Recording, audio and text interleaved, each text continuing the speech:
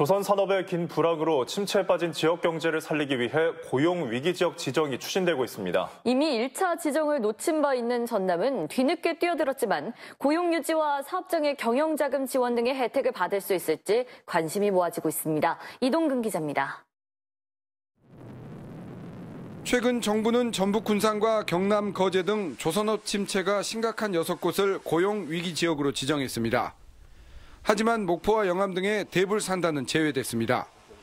조선업 실직 근로자 수나 구직급여 수령자 등을 감안하면 지정돼야 했지만 전남도와 목포시, 영암군이 발빠르게 대처하지 못했기 때문입니다. 뒤늦은 요청에 정부가 추가 지정을 검토하기 위해 현장 실사에 나섰습니다. 현장 뭐 사- 확인 좀 하고 하고 이후에 이런 자료를 가지고 정부에서 어, 고용위기 지역 여부를 결정하게 될 것입니다.